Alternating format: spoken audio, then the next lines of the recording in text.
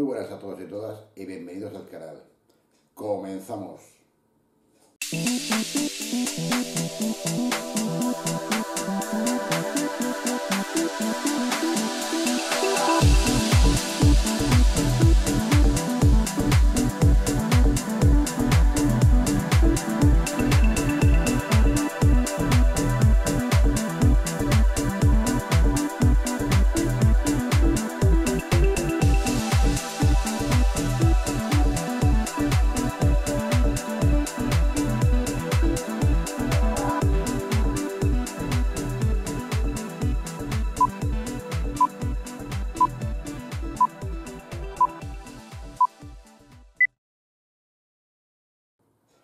Pues hoy os traigo este par de packs de películas de Clint Eastwood en sus ediciones inglesas y quiero comentaros que este, que es el perteneciente a la trilogía El dólar, contiene pues eh, por un puñado de dólares la muerte tenía un precio, bien mal llamada porque realmente se llama por un puñado de dólares más, y el bueno, el feo y el malo.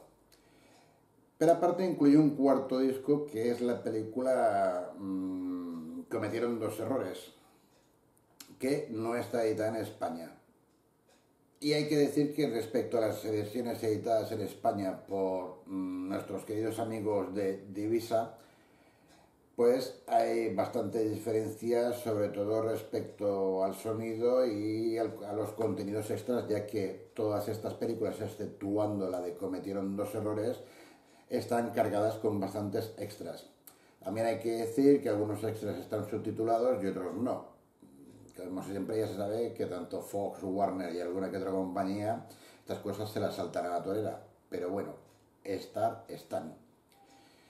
Eh, la calidad de imagen para un puñado de dólares mmm, roza la media, la media alta, se ha limpiado bastante, tiene bastantes defectos aún así, porque yo creo que ya el pobre celuloide debe estar bastante muerto ya debido a la cantidad de años que tiene.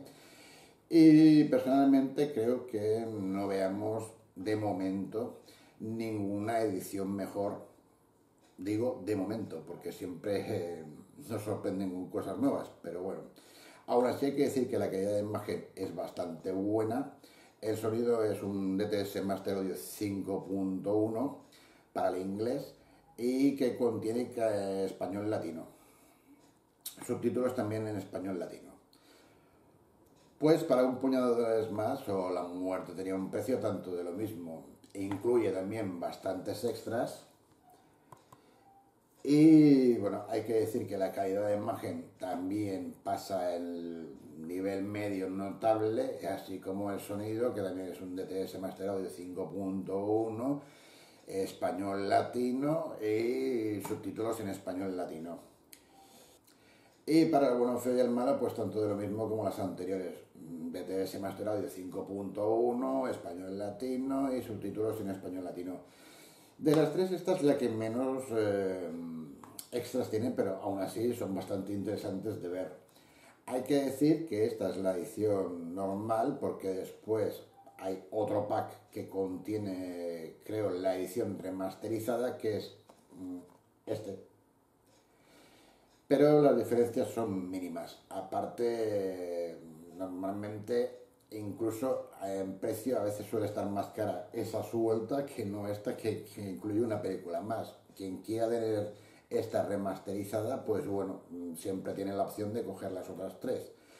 Pero la verdad es que mm, tampoco las diferencias son tan exageradas como para perder esta, que es la de cometieron dos errores y que no está editada en España. No lleva extras, en calidad de imagen podría decirse que es prácticamente la mejor y en sonido pues la verdad es que esta mm, digamos que es la que le saca mejor partido. Subtítulos en español latino también y no contiene ningún idioma más aparte del inglés. Hay que decir que se agradece la inclusión de esta película, sobre todo teniendo en cuenta el precio del pack, porque ahora no recuerdo cómo está, pero a mí me costó, creo recordar, sobre unos 12 euros, 12 euros poco, con envío. y la verdad es que yo lo recomiendo. Es un buen pack y comparado con el, los de España que ha sacado nuestra querida amiga Divisa y que la verdad pues en mi opinión dejan bastante que desear sobre todo en el tema de sonido mmm, algunos cortes algunos fallos incluso en los discos hay gente que hay que decir que no ha tenido ningún fallo y las ve estupendamente bien y bueno eh, también hay que decir de que hace poco el pack de divisa lo pusieron, creo recordar, sobre unos 11 euros, 11 euros poco, que mmm, quien quiera tenerla en, en el doblaje original de toda la vida, pues ahí ellos, es una opción.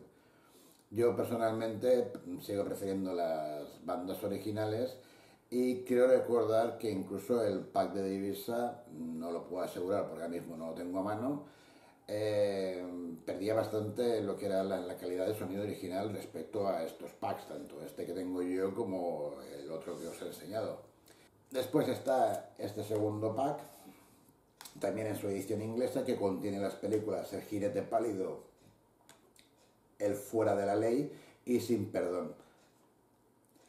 Los discos son exactamente los mismos que los editados para España, y con la típica diferencia de precios, porque este pack, creo recordar que me ha costado, no llegó a los 10 euros, cosa que mmm, si las compras sueltas salen bastante más cara, inclusive hay variaciones en España. Inclusive en España podemos encontrar varias combinaciones, como por ejemplo el jinete pálido sin perdón, etcétera, etcétera. Pero mmm, son tres películas que a mí me gusta tener y que la verdad es que este pack pues está bastante bien. El sonido para el jinete pálido es un Dolby True HD 5.1 para el inglés, también tiene Dolby Digital 5.1 para el inglés y el castellano conserva el Dolby Surround 2.0 de la edición en DVD, de la cual sí que es cierto que se ha mejorado un poquito, pero tampoco exageradamente. La imagen es bastante buena, conserva un poquito de grano, pero en líneas generales está, está muy bien. El fuera de la ley, mm, para mí, para mí, es mejor en tanto en imagen como en sonido de este pack, ya que tiene un DTS Master Audio 5.1 que llena bastante, que llena bastante, llena bastante el ambiente siempre y cuando dispongas de un equipo 5.1 o inclusive un 3.1, una barra que suene bastante espaciada, no lo notarás. La imagen, en mi opinión, es la mejor de las tres películas. He visto comentarios, etcétera, etcétera, sobre película por película y en algunos casos me salía que eh, Sin Perdón tiene mejor calidad de imagen que eh, Fuera de la Ley. Yo no, personalmente no opino lo mismo, pero bueno, ya se sabe que cada uno ve las cosas de distinto modo, por lo cual lo dejo ahí. Decir que el jinete pálido no contiene extras, el fuera de la ley sí que lleva algunos extras, y para Sin Perdón pues contamos con un Dolby Digital 5.1 para el inglés y un Dolby Surround 2.0 para el castellano, que es exactamente igual que lo que teníamos en la versión en DVD. Mm, prácticamente la cosa no se ha mejorado nada, la imagen es bastante buena y sinceramente, en mi opinión, merecía una mejor edición esta película. Sí que es cierto que lleva algunos extras, pero la verdad es que no hace justicia a la calidad de la película. No sé si es por dejar de Warner, porque en aquellos momentos que esta fuera de las primeras películas en lanzarse no estaban demasiado por la labor, pero a día de hoy, mm, y sabiendo la cantidad de refritos que hace Warner, pues podría sacar una edición que esté en condiciones. Aún así, hay que decir que se oye bien, se ve muy bien y es muy disfrutable.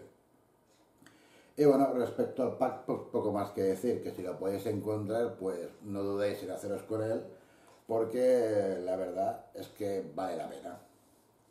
Y bueno, espero que os haya gustado el programa y nos vemos en el próximo. Hasta luego.